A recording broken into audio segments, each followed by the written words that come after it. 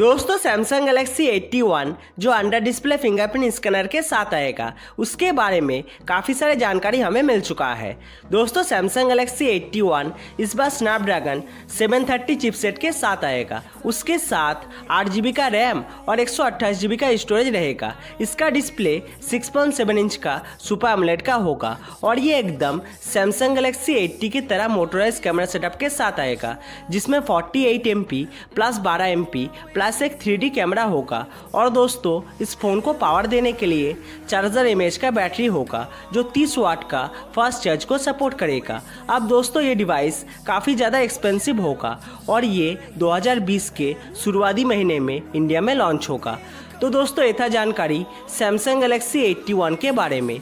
तो दोस्तों, अगर आपको मेरा ये जानकारी पसंद आए तो वीडियो को लाइक और शेयर करने के साथ हमारे चैनल को सब्सक्राइब भी कर लीजिए।